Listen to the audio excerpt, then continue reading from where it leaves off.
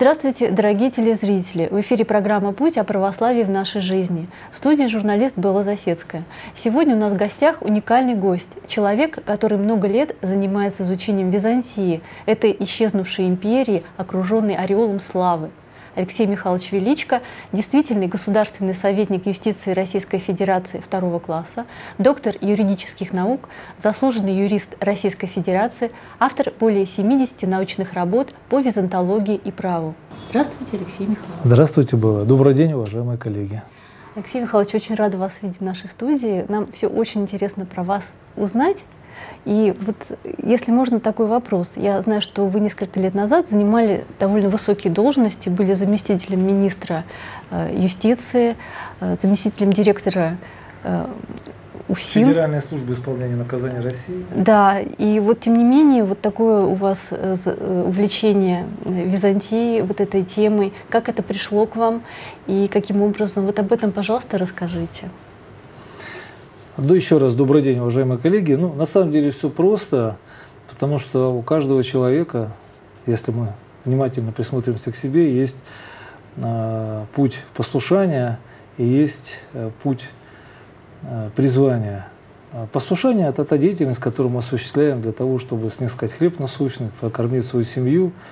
И призвание – это то, что человек делает для души, а, чем он не кормится, за что он, как правило, деньги уже не получает и так далее. Ну, интересы могут быть самые разнообразные у людей.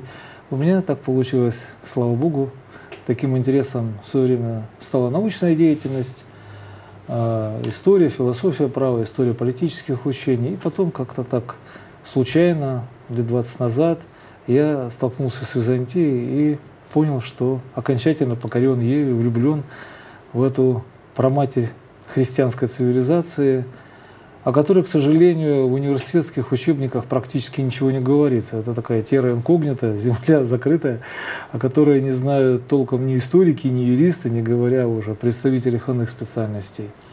И я, к сожалению, тоже не был исключением из общего правила.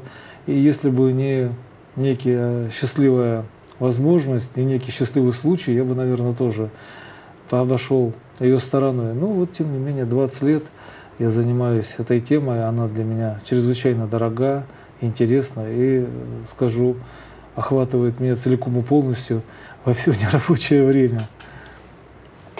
Ну, я вот так понимаю, что это было связано все-таки и с движением к обретению веры православной. Конечно, конечно.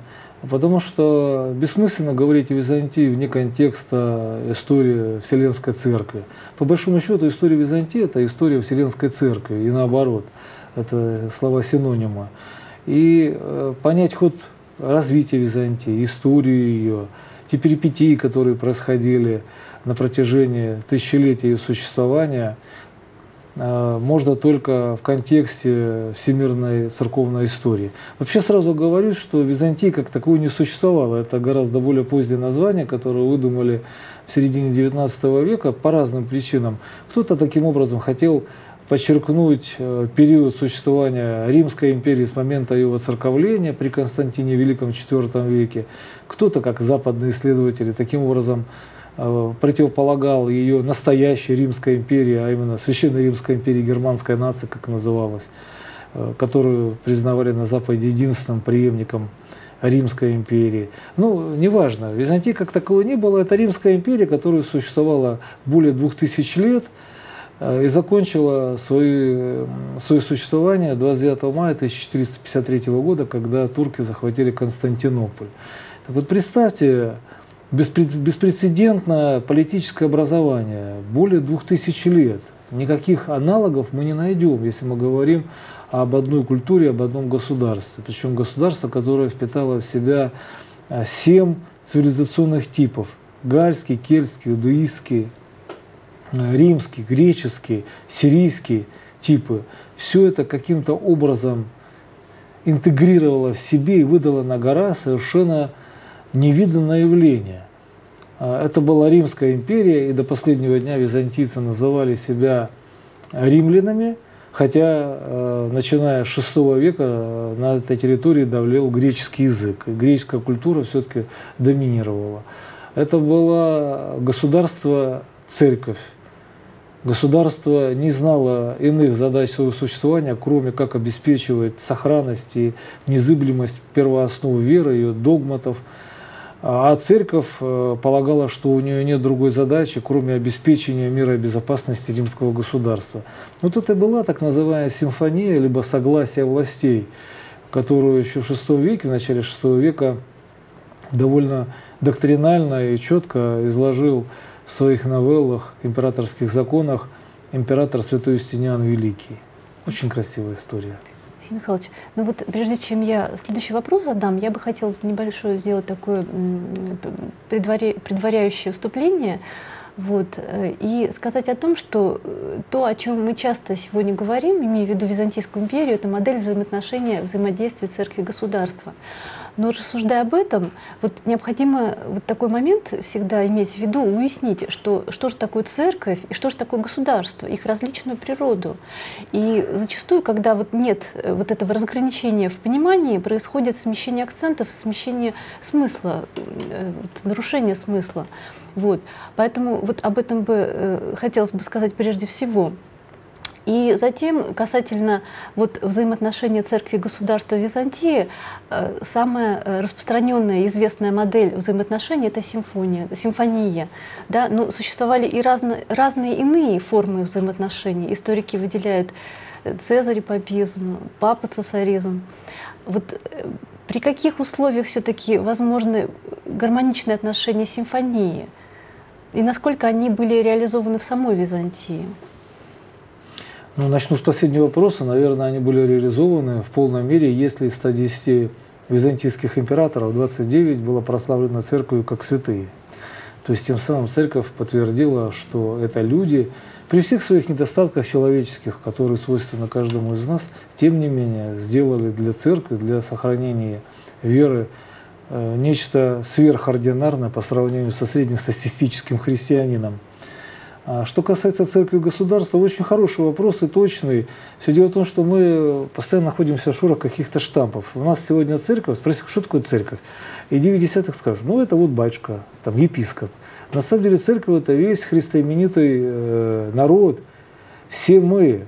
Э, мы различаемся в церкви лишь служением. Есть епископское служение, священническое, диаконское, э, есть, свяще... есть служение мирян – Например, тот возглас «Аминь», который мы произносим во время литургии, это форма нашего служения, которая является исключительной прерогативой мирянина, например. Хотя сейчас уже это немножко стерто, и хор обычно дополняет слова священника этим возгласом и так далее. А государство – это отнюдь не аппарат чиновников, как опять же нам э, зачастую говорят. Государство – это весь народ, который э, дошел до уровня осознания своего «я», своей общности, своей единой культуры, хочет жить под единой властью, под единым законом и по единой вере. Или, по крайней мере, по э, неким, неким единым нравственным шаблонам, я бы так сказал. Хотя люди могут принадлежать разным конфессиям, например, как мы мусульмане, но тем не менее некая десятичная заповедь э, является безусловной для мусульманина, и для иудея, и для нас – для христиан разных конфессий, в свою очередь. Вот это церковь государства. А, сказать, что в Византии существовали разные а, взаимоотношения между церковью и государством, ну, наверное, это было бы неоправданно смело, потому что все-таки доминировала идея о том, что главная цель государства – это привести человека в Царствие Небесное. Все, другой э, сферы задачи у земной власти не существует. Нет. Они, понятно, ведут войны, они судят людей, разрешают какие-то споры, они обеспечивают справедливость. Но это делает правители языческого государства и даже, например, атеистического государства. Он что, не ведет войны? Ведет. Он э, отменяет суд? Нет. Суд, как органическая составляющая любой власти, всегда присутствует в любом государстве. А вот именно важная задача – вести человека в Царствие Небесное. Конечно, никакой идеал э, в полной мере не может быть реализован на Земле. Так э, правды нет нигде, если так уж говорить, да, стопроцентной. И каждый священник, как человек, он тоже грешен, и епископ грешен, и э, человеком давлеют страсти. Но тем не менее, в целом, на протяжении тысячелетней своей истории и Византия, даже более того, и западноевропейские государства, они выдерживают эту модель поведения. Были, конечно, отклонения, о которых вы говорите. Папа Цезаризм, когда власть первосвященника, римского епископа, ставилась выше власти государя. Но это на самом деле искажения, которые затемняли идею симфонии, но ровным счетом ее не отменяли. Равно как и цезаропапизм, но это на самом деле едва ли применимо к тем периодам, когда церковь и государство существовали на единой территории, включали в себя фактически один и тот же народ.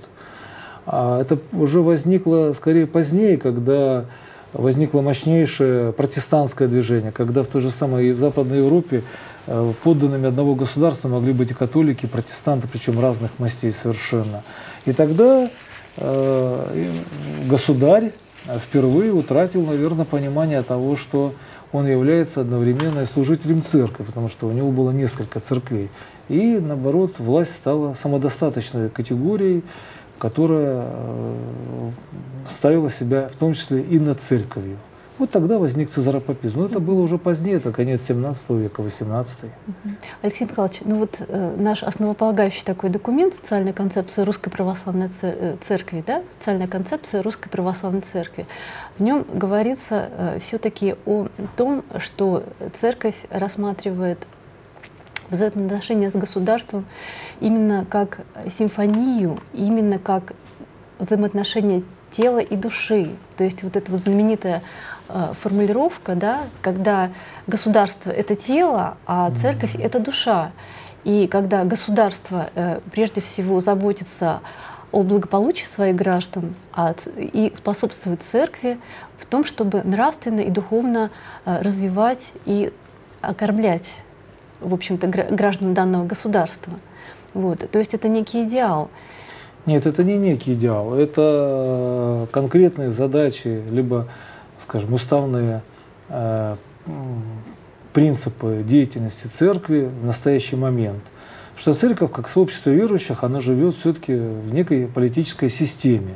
У нас есть конституция, которая определила, что Россия является светским государством, и власть отделена от любой религиозной общины.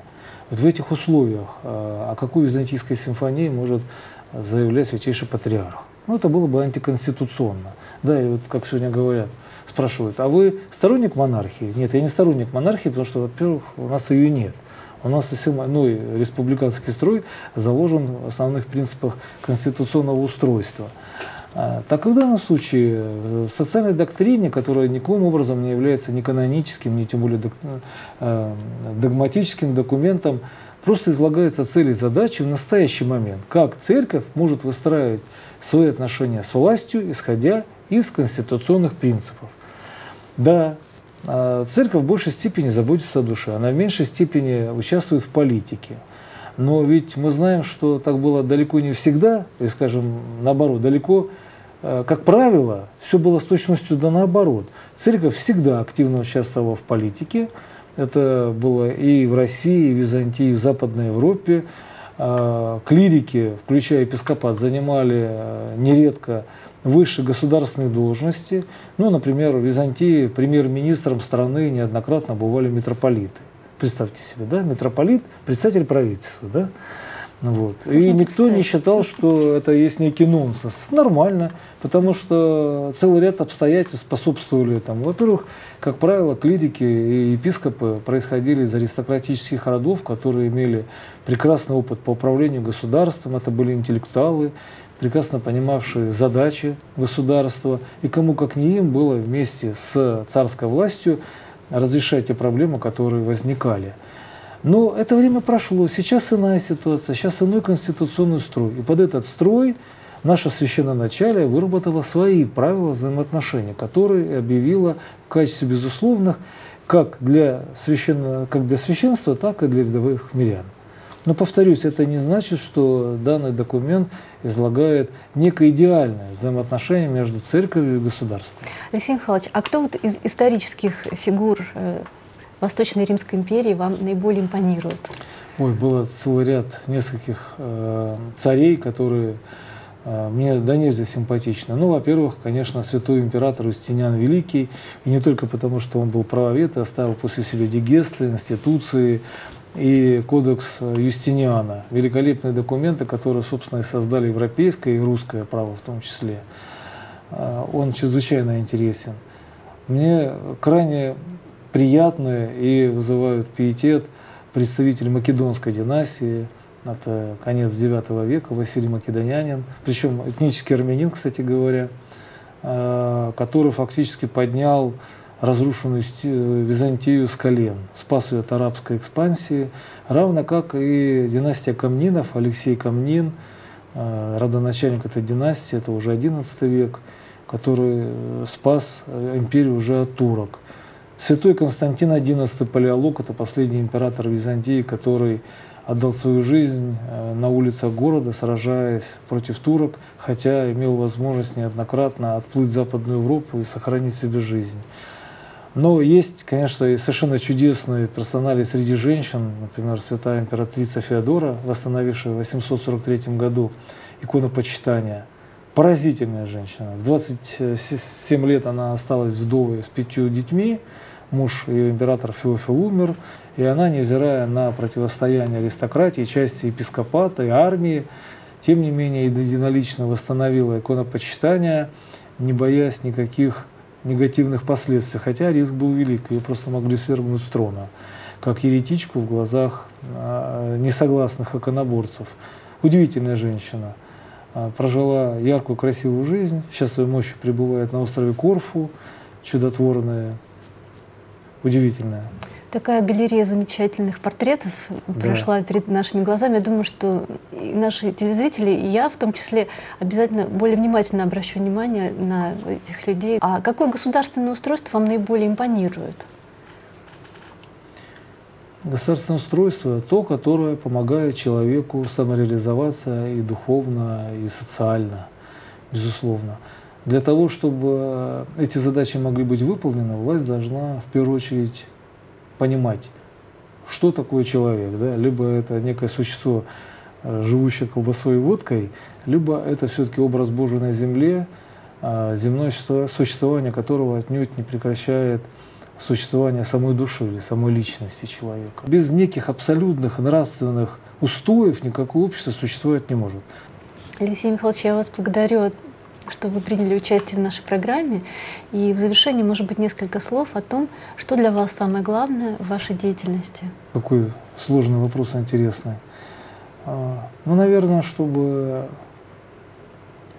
я делал ошибок, совершал ошибок поменьше во всей деятельности, и э, своей непосредственно служебной, и той, которая охватывает круг моих научных интересов, ну, наверное, все-таки становиться лучше во всех отношениях. То есть искоренять себе все те червоточины, которыми, к сожалению, богат, богат я в частности. Наверное, так. Спасибо вам большое. Спасибо большое. Дорогие друзья, подвести итог нашему разговору мне бы хотелось вот таким образом. Часто мы слышим «вся власть от Бога». Но что же такое власть от Бога? Говорит ли это о каком-то таинственном мистическом положении власти, ее сакральном смысле – Православное понимание этой фразы, этой мысли заключается в том, как говорят и наши православные богословы, и народная мудрость, посеньки и шапка. Мы имеем ровно то, что заслуживаем. И в нашей жизни происходит ровно то, что соответствует нашему духовному состоянию. И власть ровно такая, каков уровень нашего духовного состояния. И еще очень важно уяснить святоотеческое отношение. Церковь не отдает предпочтения никакому политическому строю – стяжи дух мирен, и тысячи вокруг тебя спасутся. Вот эти слова преподобного Серафима Саровского о том, к чему призывает Церковь Христова. На этом я с вами прощаюсь. Всего вам доброго и до новых встреч!